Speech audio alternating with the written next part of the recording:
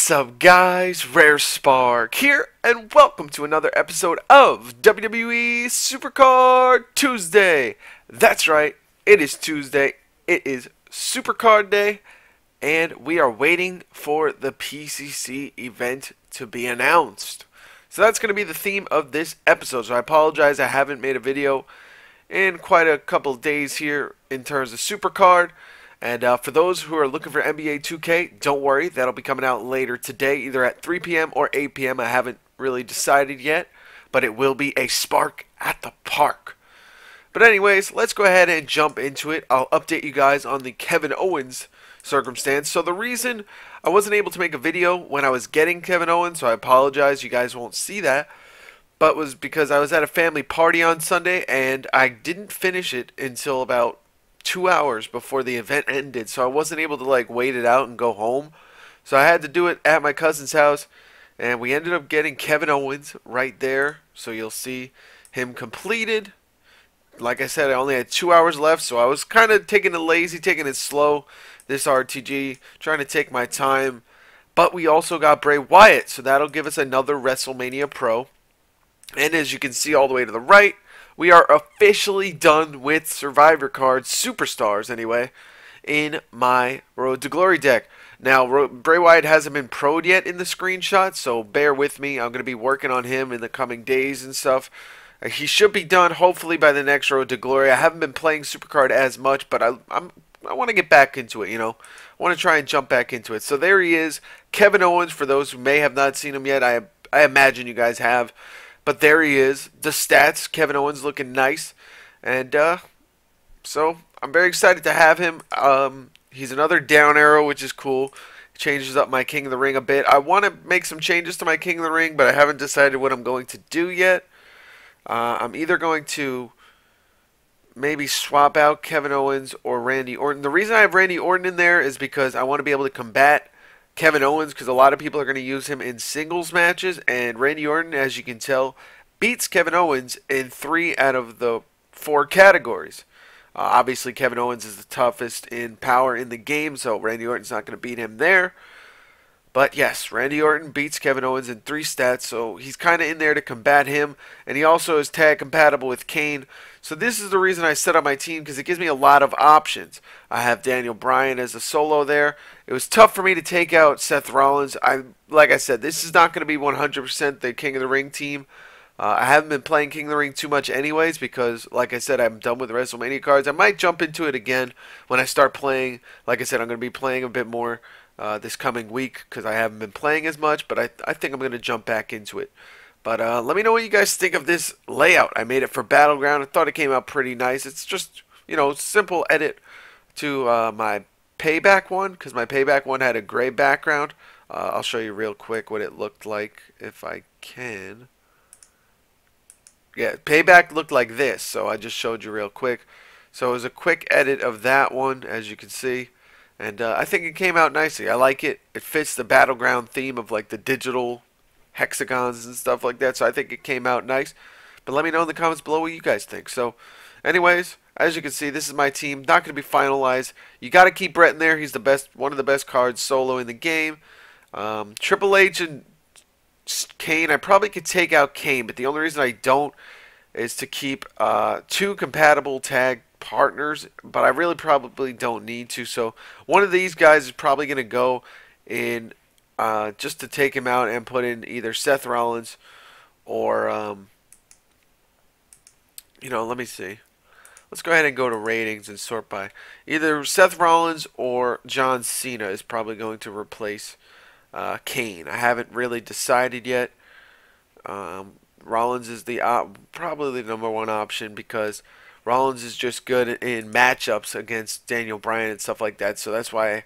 And I also trust Rollins in solo matches as well. But John Cena is another intriguing one because he's got pretty good matchups and stuff like that as well. So, not really sure what I'm going to do with my King of the Ring team yet, but I'm not going to be starting a King of the Ring until most likely Wednesday because I have to work the next couple days, and I don't really like to have to worry about King of the Rings while I have to work because uh, it's hard for me to focus on them and I end up losing. So usually I like to do when I have a couple days off, and I should have a couple days off after Wednesday. So I'm looking to probably start one after Wednesday, uh, either Wednesday night or you know Thursday morning ish.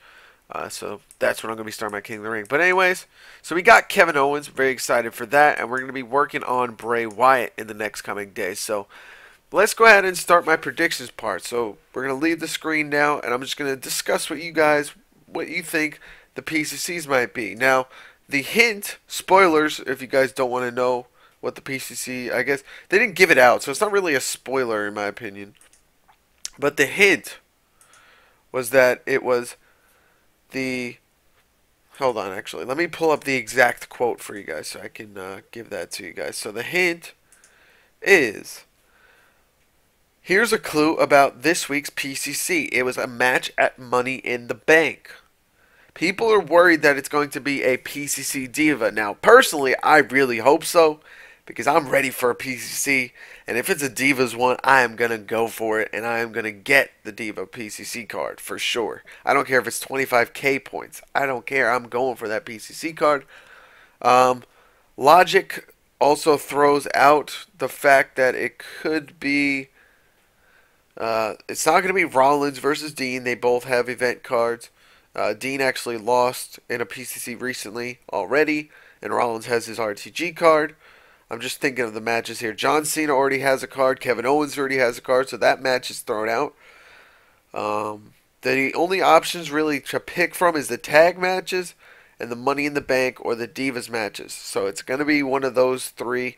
I believe Logic threw the other ones out the window. It's not going to be BNB or uh, R-Truth. We know that from the pre-show. I'm trying to think of the other matches they had. Could be they're not going to do Sheamus because he already recently had one. Um, they're obviously not going to do Ryback.